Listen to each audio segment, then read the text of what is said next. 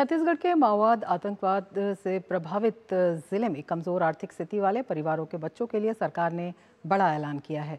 ऐसे बच्चों को तकनीकी एवं व्यवसायिक उच्च शिक्षा के बेहतर अवसर दिलाने के लिए सरकार ब्याज मुक्त ऋण देने जा रही है। इस घोषणा के साथ ही अब इन क्षेत्रों के छात्रों को बेहतर शिक्षा और रोज़गार के अवसर मिल सकेंगे। देखिए छत्तीसगढ़ से ये खास रिपोर्ट। छत्तीसगढ़ सरकार ने नक्सल प्रभावित जिलों के छात्रों के लिए एक बड़ी राहत की घोषणा की है। यह खबर उन छात्रों के लिए है जो पढ़ाई का खर्चा नहीं उठा पाते थे। अब उन जिलों के विद्यार्थियों को शिक्षा के लिए ब्याज रहित ऋण मिलेगा। छात्रों के उज्जवल भविष्य के लिए छत्तीसगढ़ सरकार का बड़ा कदम। नक्सल प्रभावित क्षेत्र के छात्रों को मिलेगा शिक्षा के लिए ब्याज मुक्त ऋण।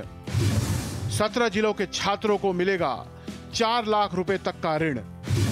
मुख्यमंत्री उच्च शिक्षा ऋण ब्याज अनुदान योजना के तहत लाभान्वित होंगे छात्र। ये योजना 35 तकनीकी और अन्य व्यावसायिक पाठ्यक्रमों को करती है कवर।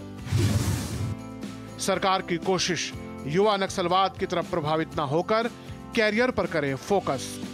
छत्तीसगढ़ के नक्सल प्रभावित जिलों में कमज़ोर आर्थिक स्थिति वाले परिवारों के बच्चों को तकनीकी एवं व्यावसायिक उच्च शिक्षा के बेहतर अवसर दिलाने के लिए ब्याज मुक्त ऋण दिया जाएगा। इन जिलों में अधिक से अधिक विद्यार्थियों को मुख्यमंत्री उच्च शिक्षा, ऋण ब्याज अनुदान योजना के तहत लाभान्वित करने और इसके लिए विशेष अभियान चलाने के निर्देश अधिकारियों को दिए गए हैं।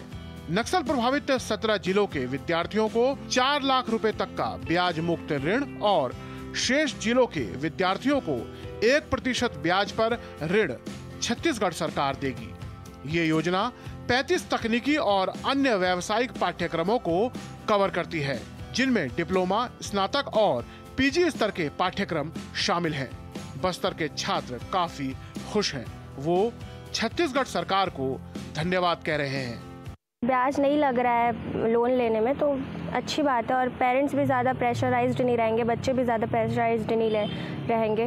और वो अच्छे तरीके से पढ़ेंगे उनके में कोई प्रेशर नहीं रहेगा कि हमको ब्याज देना है तो हमको उस चीज़ के लिए भी पैसे कलेक्ट करने पड़ेंगे सेव करने पड़ेंगे।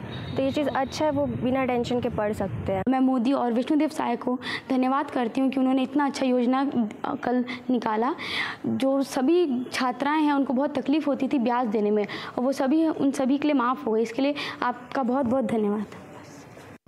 वही बस्तर से आदिवासी नेता महेश गागड़ा कह रहे हैं कि छत्तीसगढ़ सरकार ने बस्तर के बच्चों की पढ़ाई के बारे में सोचा है। इससे बस्तर में आदिवासी बच्चों को पढ़ाई करने में अब दिक्कत नहीं होगी। छत्तीसगढ़ सरकार द्वारा नस्ल प्रभावित क्षेत्र के विद्यार्थियों के लिए बड़ा सौगात दी है। उनके पढ़ने के लिए, उनके शिक्षा के लिए जो सौगात दी निश्चित तौर पर नस्ल प्रभावित क्षेत्र में जो आदिवासी युवा हैं, उनको एक उज्जवल भविष्य के लिए, नया जीवन गढ़ने के लिए सुनर मौका दिया है।